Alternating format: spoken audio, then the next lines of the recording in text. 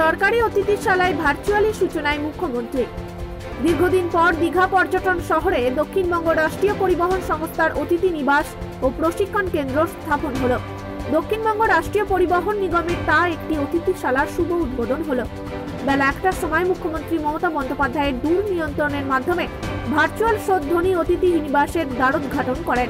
তিনি ভার্চুয়ালি বর্ধমানের পানাগড়ের দক্ষিণবঙ্গ রাষ্ট্রীয় পরিবহন সংস্থা, অতিথি নিবাস ও প্রশিক্ষণ কেন্দ্রের উদ্বোধন করেন। উদ্বোধনের সময় অতিথি নিবাসের সভাকক্ষে উপস্থিত ছিলেন রাজ্যের মৎস্যমন্ত্রী অখিল গিরি, জেলা শাসক পূর্ণেন্দ্র মাঝি, কাঁথি মহকুমা শাসক আদিত্য মোহন, বিক্রম হিরানি, অতিরিক্ত জেলা পুলিশ সুপার গ্রামীণ মানব সিংহ, দীঘা শঙ্কর উন্নয়ন পর্ষদের নির্বাহী আধিকারিক মানস মণ্ডল, দক্ষিণবঙ্গ রাষ্ট্রীয় পরিবহন নিগমের দীঘা ডিপোর সভাপতি তরুণ জানা, রামনগর পঞ্চায়েত সমিতির সভাপতি শম্পা মহাপাত্র প্রমুখ। এই অতিথি নিবাস এবং প্রশিক্ষণ কেন্দ্রের নামকরণ করেছেন মুখ্যমন্ত্রী নিজে, এমনটাই ঘোষণা করা হয়েছে। দীঘা থেকে মদন মাইতি রিপোর্ট, টাইমস বাংলা।